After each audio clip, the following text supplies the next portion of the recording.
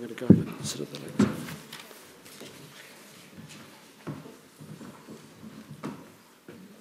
Good evening, uh, and welcome to the School of Oriental and African Studies. Uh, thank you very much for coming this evening, where we anticipate a really fantastic debate um, about uh, uh international criminal trials. My name's Dr. Steve Hopgood from the Politics Department, and I'm going to chair this evening. I'm going to run through a few housekeeping things, first of all then introduce our panelists and give you some idea of the format, and then we'll get underway as soon as possible. Housekeeping. Uh, this is a list that's printed out for me rather than something I've come up with. Uh, fire evacuation. Please notice your nearest exit now. There are no floor lights to guide you, I'm afraid. Um, one fire exit there, one fire exit over there. Uh, if the fire alarm is a continuous uh, ringing bell, um, and if there is a fire, I'm sure there won't be, but if there were to be, please exit the building and then move away from the central quad between the two buildings to the right or the left. Mobile phones, please. Could you make sure they're all turned off? Um, at the end of the uh, presentation and discussion uh, section, there'll be 40, 45 minutes for questions. There'll be a roving microphone. So I'll ask for questions from the audience. Someone will bring you the microphone. Please wait for the microphone to start talking. Um, I'll also I'll, I'll encourage you to be succinct when it comes to microphones, uh, when it comes to speaking into the microphone, and I'm going to be a pretty tough chair if, it, uh, if we get into too many long speeches from the floor. Uh, male and female Uh, toilets are just outside that. This is the list I was given. Male and female toilets are just outside the door, uh, just through there. You probably found them. Uh, and uh, the audience is asked to remain seated um, until the panelists left the platform. I don't quite know why, whether it's that there's a, a danger they'll be attacked on the way or you'll throw fruit or something of that sort. Uh, I'm not sure. Okay, I'm going to introduce our four panelists. Uh, first of all, Martti Koskenniemi, who's uh, uh, second from your right over there. Professor of International Law at the University of Helsinki and Director of the Erik Castrén Institute of International Law and Human Rights. He's one of the world's foremost critical legal scholars, having published many influential articles, including one, uh, of course, related to tonight's event in particular, called Beyond Impunity and Show Trials in the Max Planck yearbook in, in 2002. He's best known to scholars of international relations and international law as the author of The Gentle Civilizer of Nations, The Rise and Fall of International Law 1870 to 1960. But he's also held senior posts in the Finnish diplomatic service, including Director of the International Law Division, and from 2002 to 2006, he was a member of the International Law Commission, There are many, many other of Martti's achievements I could read out, but that's just a few to introduce him. And he'll be speaking first for about 10 minutes. He'll be followed by Steven Kay, who is a barrister and QC at 9 Bedford Row, and is perhaps the most experienced defence counsel in the world on cases involving international criminal law. Among the main high-profile cases on which he's been defence counsel, two stand out in particular to me – He represented Dusko Tadic in the ICTY, the International Criminal Tribunal for the former Yugoslavia in The Hague, in 1996-1997. And of course, this really was the first international criminal trial uh, since the Second World War, since Nuremberg and Tokyo. Uh, uh, this is where the uh, sort of international justice um, uh, uh, program began to really galvanize itself again. Uh, and from 2004, he was the lead defense counsel for Slobodan Milosevic uh, at the ICTY until Milosevic died of a heart attack in 2006. And Steven had also been involved with that case before then as well. He's also currently defense counsel for the Kenyan Deputy Prime Minister Uhuru Kenyatta, who, as many of you all know, is charged by the ICC prosecutor with crimes against humanity. So we're very um, happy to welcome Martti and Steven tonight. Once they've both spoken for about 10 minutes, there will be two um, responses or um, uh, questions from uh, our other panelists. First of all, Robert Mertfeldt, who's on the far right there. Robert is a PhD student in international law at SOAS, whose work begins looking at the uh, alleged genocide of the Herero in German Southwest Africa, now Namibia. Um, but his research also takes in much wider international justice themes. He's a co-founder of the Centre for the Study of Colonialism, Empire and International Law at SOAS and has been a visiting research fellow at Columbia University in New York. And I should say, and I'll thank him more uh, fully at the end, but really this entire event, which has been a mammoth effort of organisation, is really um, principally down to Robert um, putting it together and organising it. But uh, I'll ask for a, a thanks for him, particularly at the very end of the evening. And immediately on my left here, Polina Lavina, was born in Moscow and grew up in Canada and the United Kingdom. She's currently doing her Masters in International Law at SOAS. Prior to that, she worked for 18 months in the Office of the Prosecutor at the ICC in The Hague, where she worked on the Kenya case and was also involved in the preliminary examination of situations in Nigeria and Afghanistan. So I think you'll agree we have an extremely experienced and knowledgeable um, and interesting panel to listen to tonight. The format's as follows. Marty and Stephen will talk for 10 minutes each. Robert and Paulina will have a five-minute um, uh, opportunity to ask them a few questions and discuss a few things. Then we'll have a little uh, debate um, between the members of the panel, but pretty quickly we'll move on to questions from the audience and we'll start the roving mic going around. Okay, so thank you very much, and we'll begin with Marty Koskiniemi. Marty, thank you.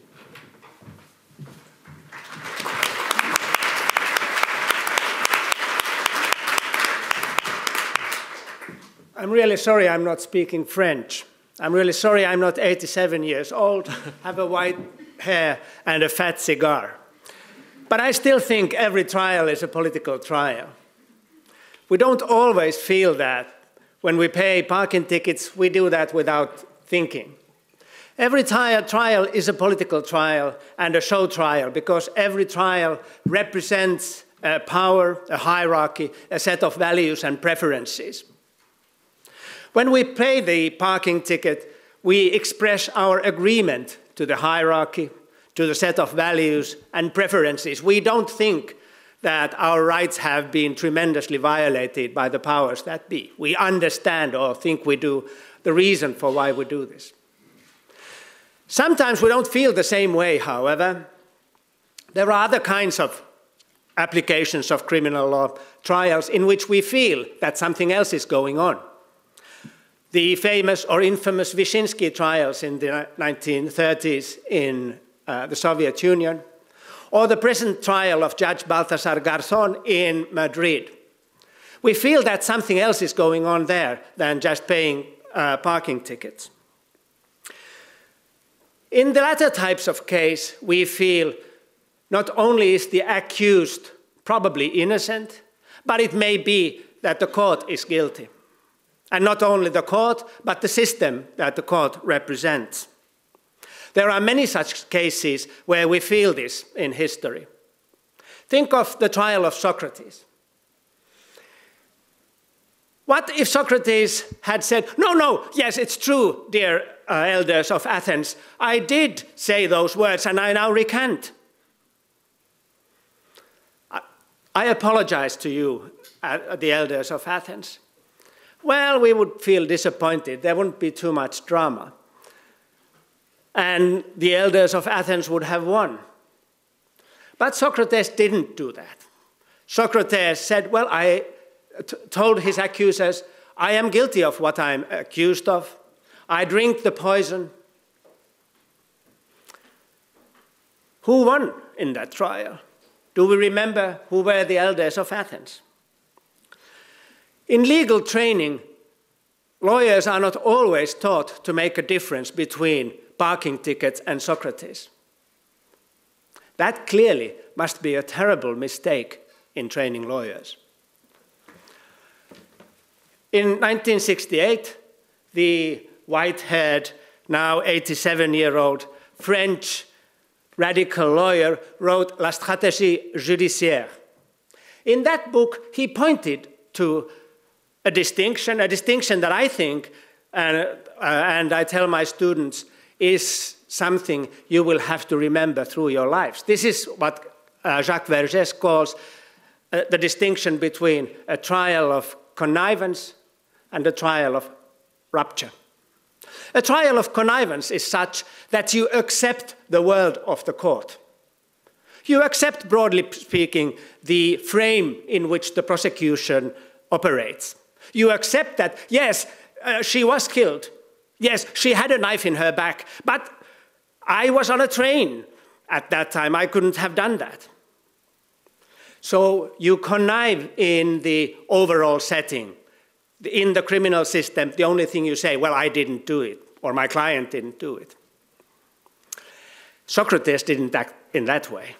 Socrates didn't connive in the system of the Athenian elders.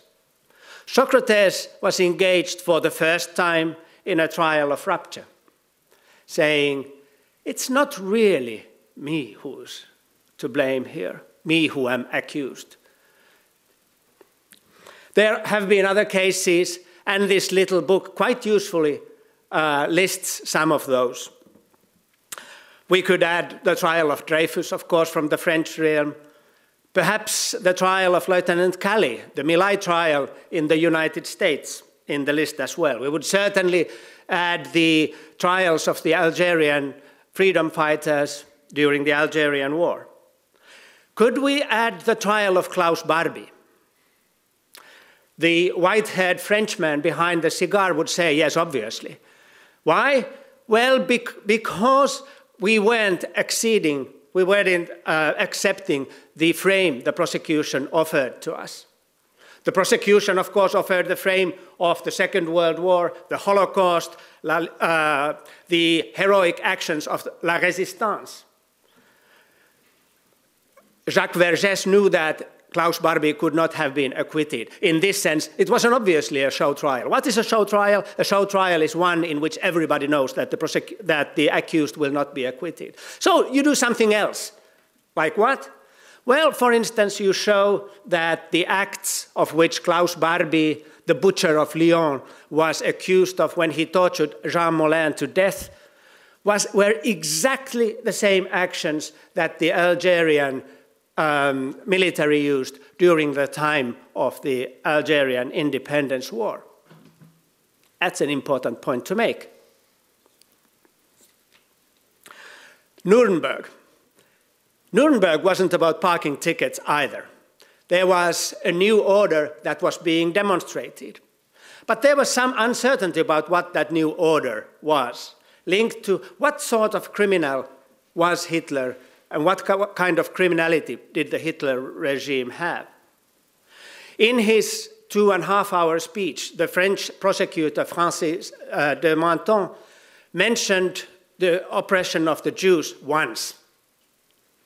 When the reel that was famously shown uh, when the um, uh, concentration camp at Bergen-Belsen was opened and the, the uh, famous mass graves were shown the British bulldozing uh, the, the graves open, the reel spoke of crimes against civilians.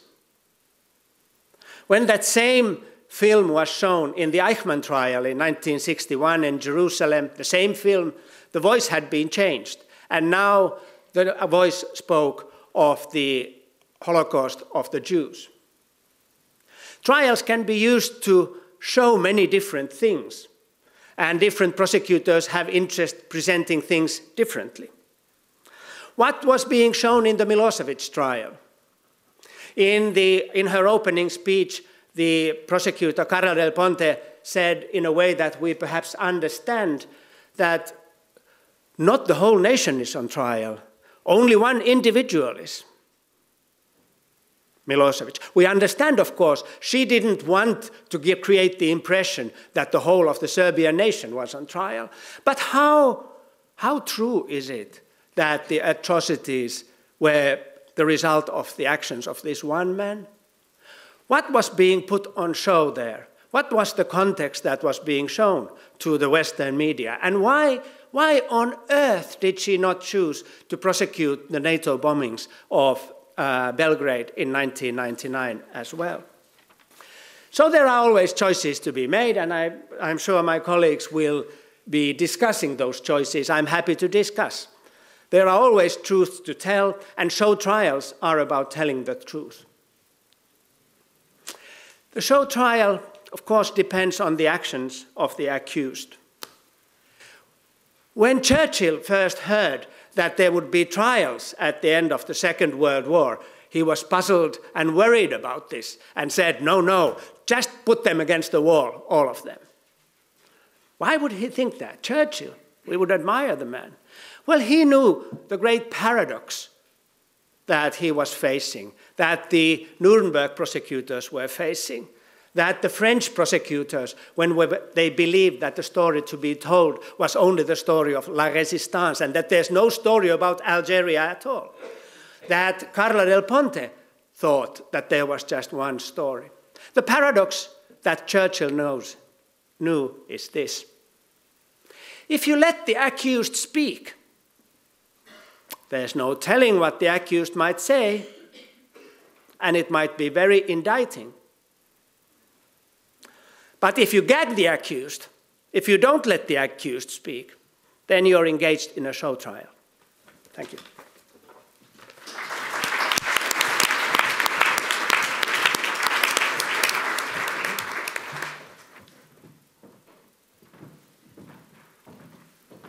Uh, thank you, Martti. Show trials. Um, international criminal justice has come a long way since Nuremberg. Nuremberg is no longer the standard for international criminal justice. Nuremberg has been consigned to history.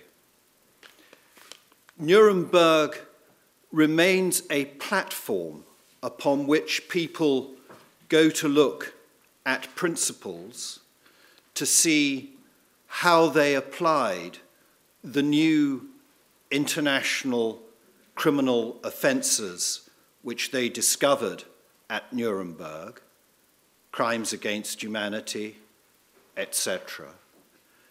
That is a place where the academics go for the arguments, for the philosophy, and for the points of view, and regard what took place in Nuremberg as something that could not take place under modern conditions.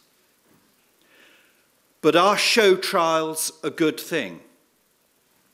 Do show trials achieve justice?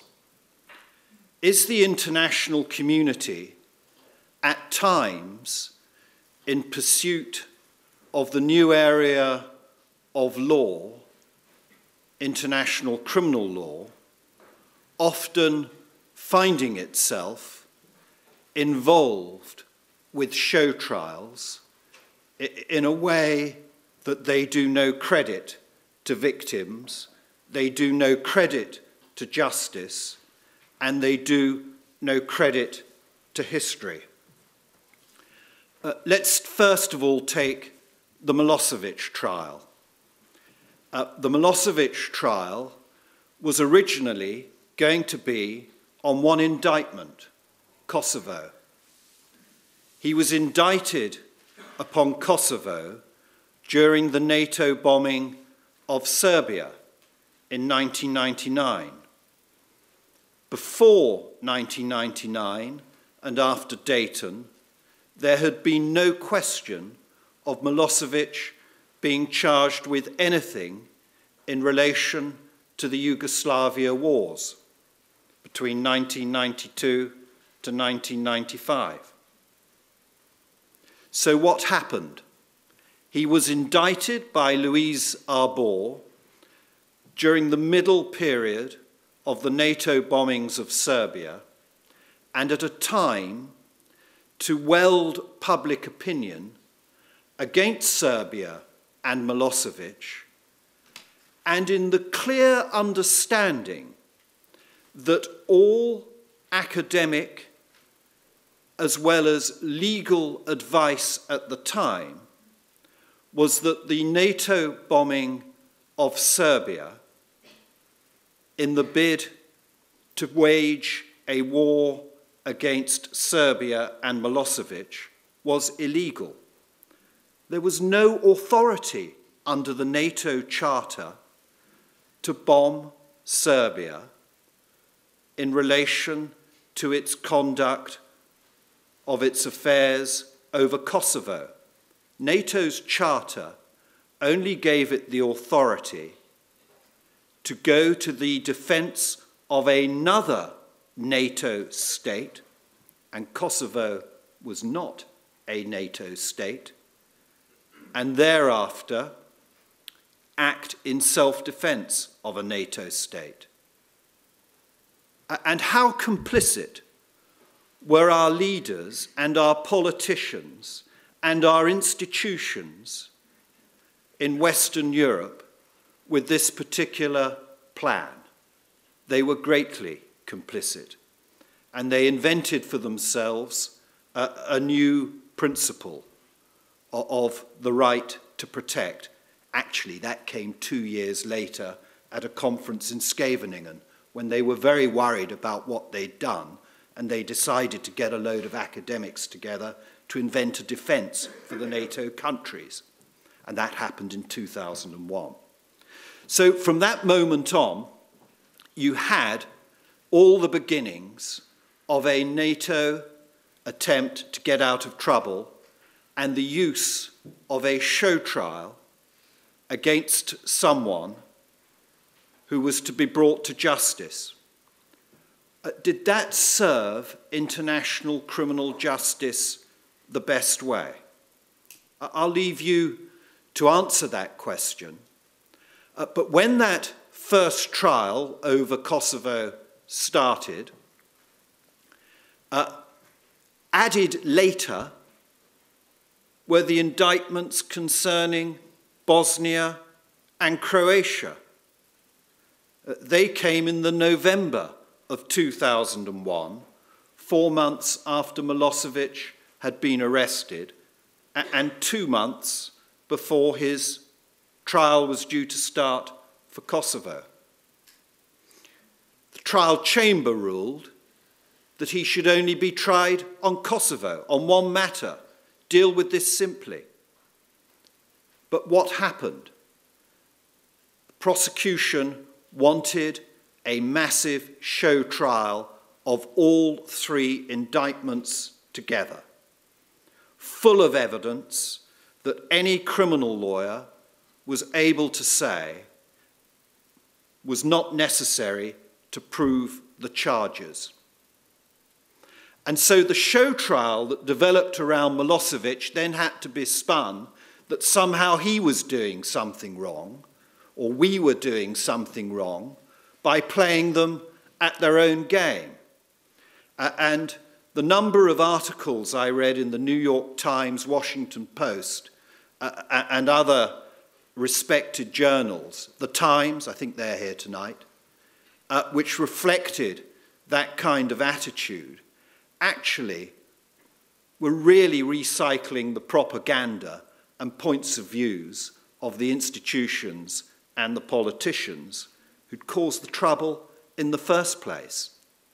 One thing Milosevic and the prosecution agreed upon together, the only thing, was that they should have a joint trial. I got it wrong at first. I applied for one trial and severance. And he told me, no, joint trial. So I had to backtrack on the filing that was submitted.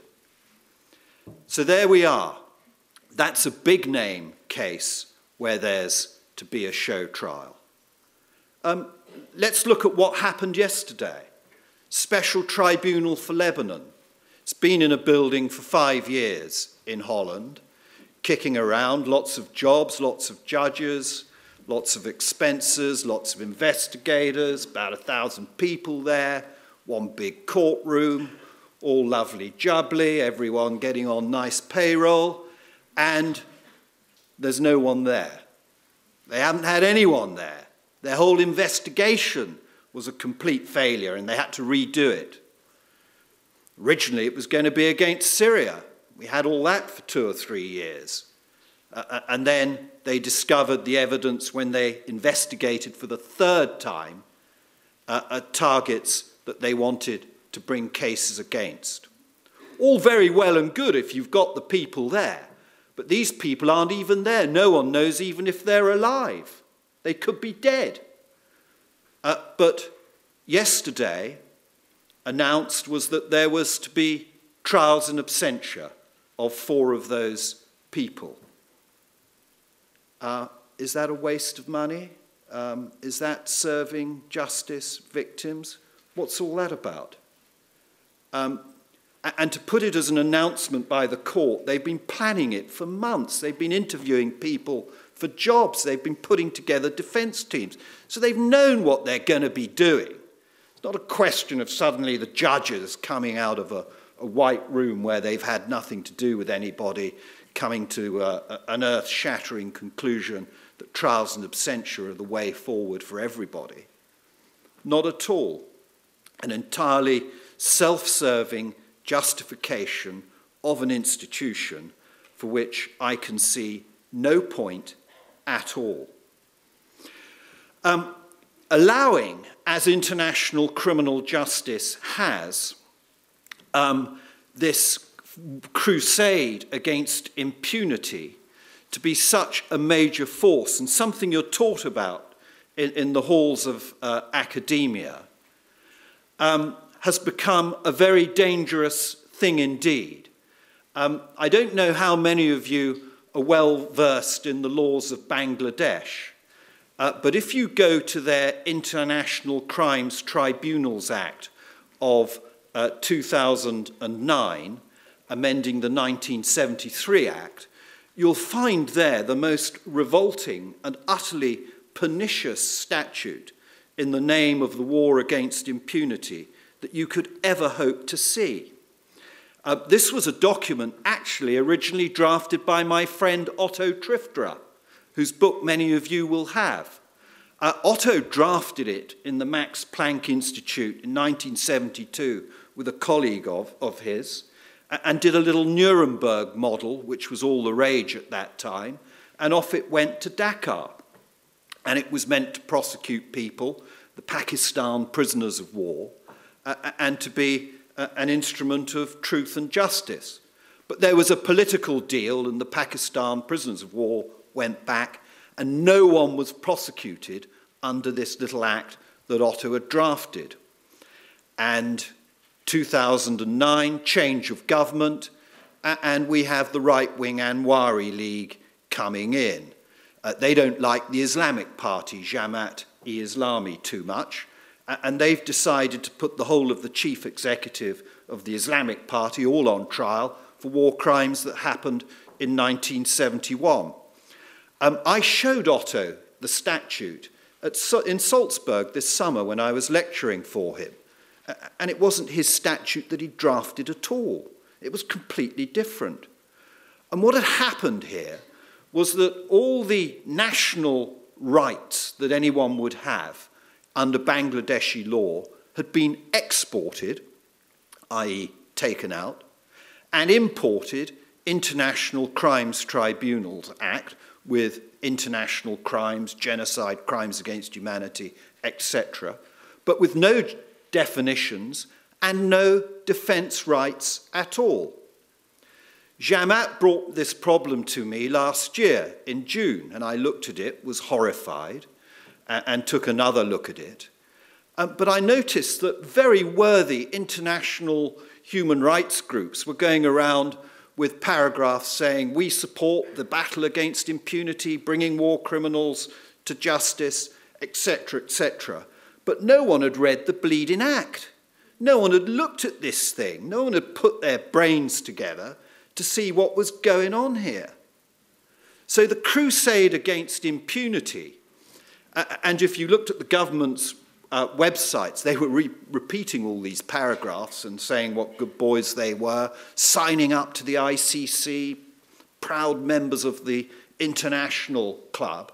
But they've got this stinking pernicious act back home where they put people on trial. The first trial has started, Sayeedi, uh, and um, detained people without charge for over a year and not allowed defence lawyers in for the interviews that the prosecutors have.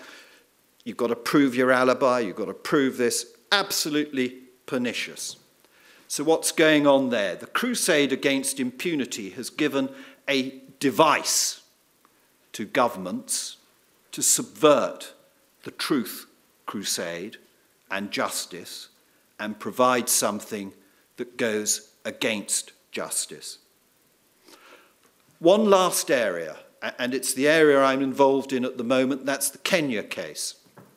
Um, I'm not going to say too much about it, but that hangs on the definition of crimes against humanity, a widespread and systematic attack uh, against a civilian population in, in pursuant of a state or organizational policy. What's of interest, though, is that the pretrial chamber have suddenly brought out a new definition of organizational policy that's never been in the law before, wasn't part of Nuremberg, wasn't part of anything before, uh, and made it something that a, football supporters club could actually be put on trial at the ICC under crimes against humanity. So, all Millwall fans, watch out tomorrow, behave yourselves. Because you're getting there, you're getting there, and Ocampo needs to get some credibility. Um, so that can happen. But what was remarkable to me was that Judge Kaul, the German judge, looked at this and said, no, state or organizational policy means what they said it ought to mean and what the founding fathers of the ICC said it was going to mean, and that's something with state like qualities. But the prosecutor, pre-trial chamber, two of those judges have now this new definition, some body or whatever, that the basic human values test, we've called it in our filings. Nothing to do with organizational policy. But there we are. That's what happens. That's what creeps. Why is that happening? Well, because they don't like violence in elections in Africa, so someone's got to be made an example of. We've got a problem in Kenya. Let's, let's put a trial on there and keep everybody quiet. Might be a good reason, might be a bad reason. But as I understand it, it's not the law and it's not what justice is about. If you have been listening, thank you.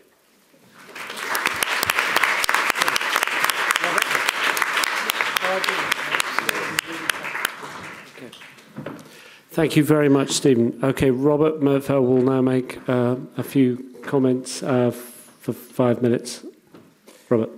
And I will be short, don't worry. So, yes, hello everybody, and um, thank you very much for coming. You know, so as Steven mentioned in his introduction, so I'm largely the brain behind this event. And um, so we largely had to reorganize the panel, you know, as many of you learned uh, on very short notice as well. And so we had to reorganize our interventions as well. And so I'm going to keep it very short, and I just think I'm going to just tell you two little stories, like the story since yesterday morning uh, and the story since 15 months. So the story since yesterday morning is that Mr. Jacques Vergès uh, wrote to me and said that he had uh, caught a flu, you know, under the heavy temperatures in Paris. So it was a little uh, shock, you know. So what should I do? So I had, uh, you know, the, uh, you know, um, possibility to call up Steven who was very kind, you know, when he answered the phone to actually step in. And uh, his first reaction was, hmm, so you're in the shit, aren't you? so at last minute resort, he actually helped me out to come in here. But then a much larger problem emerged. So, I mean, this event was largely set up as a trap for Jacques Vergès. And I, you know, have only nice things to say to Steven, whereas, you know, I didn't have those nice things to say to Jacques Vergès. And uh, so the commentary, you know, on what the work of a defense counsel really entails, and when do you overstep the line, and what are your, you know, historical, you know, associations, and who do you associate with, is a very different story for Jacques Vergès than it is for many other defense counsel. Nevertheless, um, to point out, um, for instance, um, uh, with Jacques Vergès, one thing that would have been really far more clear in this room is uh, his association with, um, you know, the 8th of May 1945. Uh, so the time when uh, the Nazis were defeated and the massacre occurred in Sétif, Algeria. And Jacques Vergès used this foundational moment to basically construct his entire career as a very radical attitude towards the uh, state of France and towards everyone else. So I'm looking forward to discuss that with Martti uh, later on as well, whereas we struck a little deal that uh, we still will be representing certain opinions of Jacques Vergès tonight here in the discussion.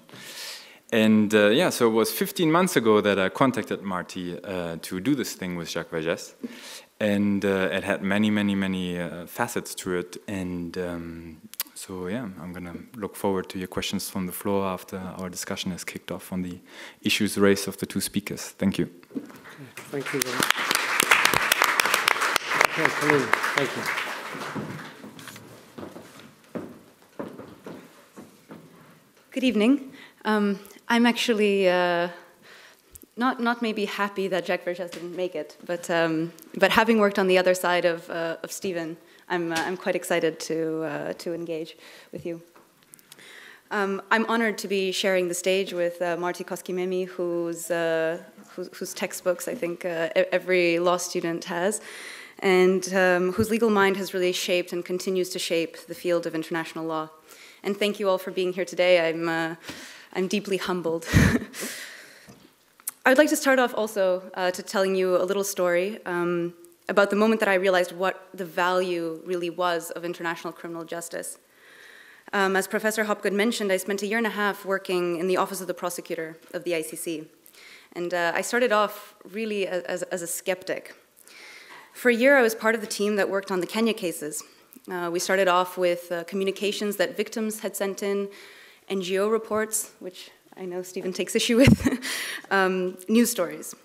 But, and as the allegations mounted, we, we started realizing what exactly had happened in Kenya over the span of three months in 2007, 2008. Um, and the investigators eventually collected enough evidence that uh, the violence had been organized, and so we applied to the chamber for summons to appear for six individuals. And those were the six individuals that we thought were the most responsible for the full range of crimes that had happened in Kenya during that period. As, some, as you may know, a couple weeks ago, the, uh, the pre-trial chamber confirmed the charges for four out of those six individuals. So two of them are now free, unless, of course, of course, the prosecution can appeal that decision. The other four will go on to trial. Um, all six individuals were prominent public figures in Kenya. But two in particular enjoyed almost a uh, semi divine status. Uhuru Kenyatta, who is Steven Kay's client, um, was the, the son of the father of Kenya, the scion of the founding dynasty. And William Ruto was a prominent politician from the Rift Valley, which is the agricultural engine of Kenya. Um, was without any irony on uh, the evening news and in daily newspapers referred to as the king of the rift. Late last spring, the six suspects came to The Hague for their initial appearance. The initial appearance is a procedural, um, formal, rather dry event. The judges ask, uh, read out the charges, and they ask each suspect to confirm that they are indeed the person who has been summoned to the court. The whole event lasted less than an hour, but the effect, I think, lasted much longer because that was the day that those individuals that had spent a, their entire careers building themselves up to be untouchable, that was the day that they had to answer to a judge. There was no more mystery. Uhuru Kenyatta and William Ruto, that day onwards, they were just regular people who were subordinate to the rule of law. I was working in the analysis section, and one of the things that we had to do was to monitor the uh, public opinion of Kenyans regarding the work that we were doing. That day, the support for the ICC skyrocketed. Um, the ICC had done something that no court in Kenya had been able to do, and it proved that no one is above the law. Since then, the court has accepted almost 500 victims' applications. So I respectfully disagree with uh, Steven Kay that the ICC does not serve the interests of victims. Like those of you who are students here at SOAS, uh, I'm, I'm, part of the same generation, the generation that is, is, we're just starting off our careers the generation that we won't just be building upon the former Yugoslavia and Nuremberg, but we'll also be building upon Rwanda and what we've learned in Sierra Leone, Congo, Cote d'Ivoire, Libya. And we're faced with a drastically different world. Um, to us, the idea and rhetoric of colonialist oppression, uh, we associate it with the dictators that oppress their own people rather than the colonialism of a bygone era. And to us, international institutions like the International Criminal Court, they are more than just an experiment. They, they are part of an enduring global social contract. But we are also not blind. And that is why we must quite genuinely and honestly ask ourselves the question of whether international criminal justice is it achievable and is it achievable through a permanent tribunal? Can we overcome the challenges of legitimacy of access and of wider acceptance of the court, both by the victims' communities and by the communities of, of those individuals who we are charging? Or must we simply concede that the only two options that we have is either impunity or show trials? And the question to us is of utmost importance because, and I, I hope I speak on behalf of others in this room, we want to end up on the right side of history. I look forward to discussing all of this with my eminent fellow panelists. Thank you.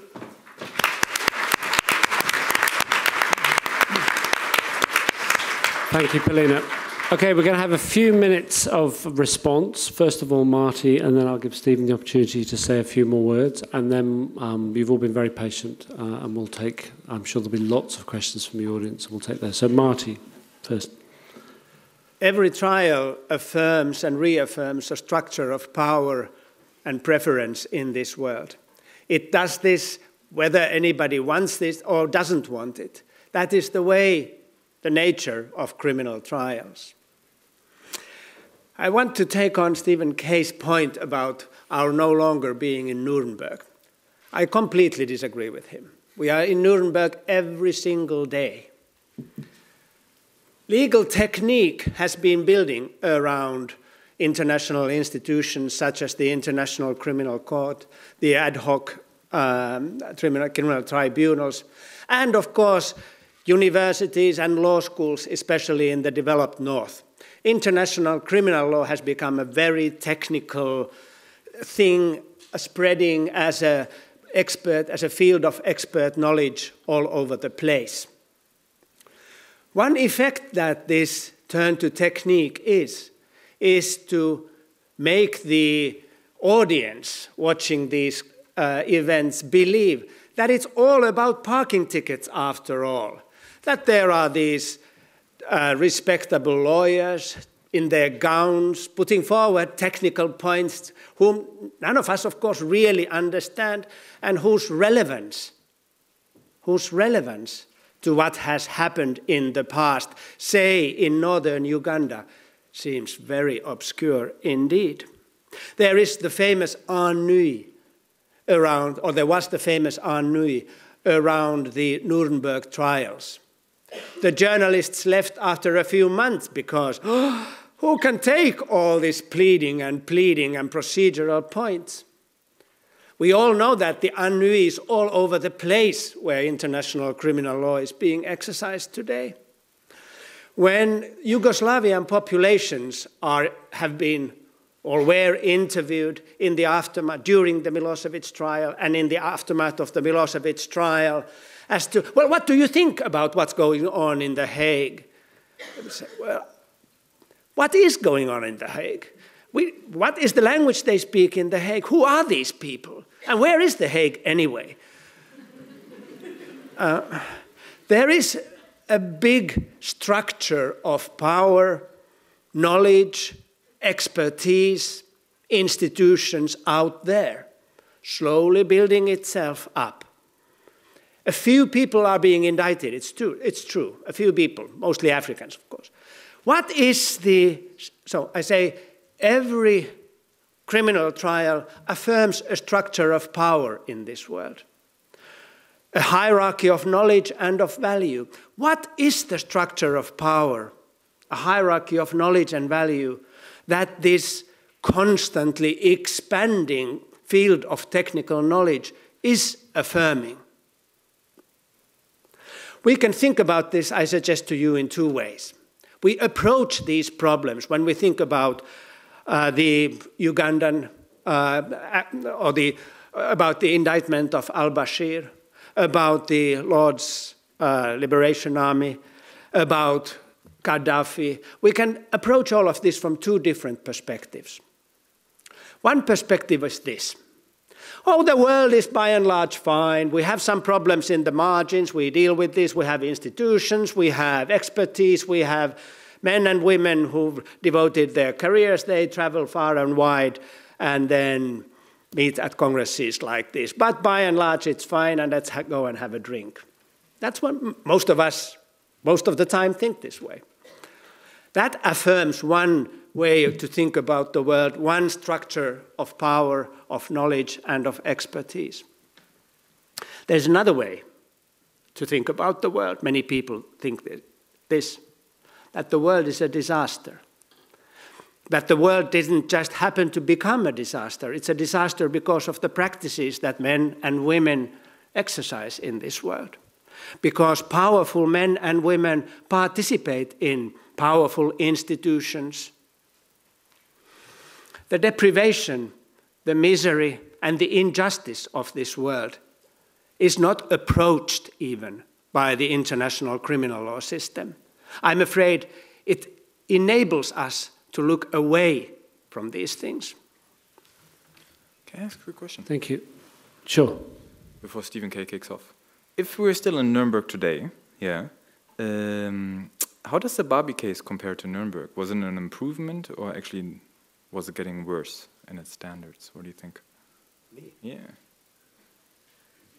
So the Barbie case, I think, uh, was a completely different case from Nuremberg. In the Barbie case, at issue was the identity of France. And there were three propositions put forward in the, in, in the case. There was the proposition put forward by the organizations of La Résistance that the France we know we want to remember and celebrate was the France of the heroes, those who fought against the Nazis, Jean Moulin. There was another story that was being put forward. That was the story of Les Enfants d'Izieu, the children of the village of Izieu who had, were taken away to Auschwitz on the last train. This is the story of France as a country of miserable collaborators, a country of victims, a history of sadness and cruelty. And then there was a third story, which was the story of France in the 50s and 60s, and uh, the 8th of uh, May, the France of colon colonialism, the France of the Algerian War, and everything that took place in the Algerian War. The Barbie trial was a show trial. There were three shows that were being put on, and different, different auditors looked at different parts of the show. It has to be understood in the French context, in the Franco German context, perhaps, uh, yeah, certainly in the context of the Holocaust and of human misery and heroism. Nuremberg, I think of in terms of uh, the victors celebrating themselves uh, if you want to, if we want to go to detail, I can uh, continue on this. But um, Nuremberg, and to this extent, and here I will, and to this extent, was uh, different from today. That it was the story of the Second World War, not the third one. Thank you, Martti. Steven, do you want to make any other quick comments, and then yes, we'll take some questions. Um, the UN ad hoc tribunals and let's take the Yugoslavia tribunal, uh, which kicked international criminal justice off, were set up under Chapter 7 UN Charter to maintain and enforce peace measures. A lot of you here will know Tadic uh, jurisdiction uh, judgment. Looking, looking at that at the time, as I had to wrestle with it and looking at those words and then looking for precedents, had they ever done this before, and uh, not seeing any, and, and taking that argument, um, it was quite clear that the Cassese Appeals Chamber um, weren't ever going to listen to us and that this was a railroad that was going straight ahead. And I, I remember, in fact, being in New York in uh, 1993 when it was being discussed. And I went to the New York Annual Bar Conference. and I was wondering where these powers came from, how, how they, they could do it. And there seemed a great deal of uncertainty in the air. Um, but if you fix your core with your judges, and Cassese, God rest his soul, was, was a, a lovely guy, a great humanitarian, etc., um, you get the answer that you want and politically, international criminal justice was really born from a base of very doubtful legal precedent, but they wanted that. The court was structured to ensure the result was delivered, and you look at the people who were there at that time uh, in the appeals chamber. And as I've always said, they weren't going to vote themselves out of a job, uh, like the Lebanon Tribunal at the moment. And so I think one has to realize that these events uh, come into our lives, they affect the lives of individuals, they affect the life of Dusko Tadic, who was made the example, the first example, and he was really um, a nobody. Um, I think even he, with his ego, would admit that, that he was a nobody, uh, a cafe owner in Kozarac, uh, and found himself there because that was what was wanted. Um, so uh, the, the, the resources out there that you have to face and confront as a defense counsel, I often feel like Don Quixote with Sancho Panza, and I'm on a donkey and I've got a twig uh, and I'm charging at the windmills because I think the fix is massive behind the scenes that we have to face. And I'm afraid I saw that in the organizational policy reasoning of pretrial chamber 2 on the Kenya case because they stretched that definition in a way that no one had written about it before and even those people like Darryl Robinson are saying, yeah, this is what we want. I mean, the background and history ain't there, but this is what we want. But that's not their job to want, to want it that way. What right have they got to walk into people's lives, countries, say you're going to run your country this way? They don't know anything about Uhuru Kenyatta. They don't know anything about Ruto and, and what they do. They don't know it at all. They want an example. That's what it's about. Thank you, Steven.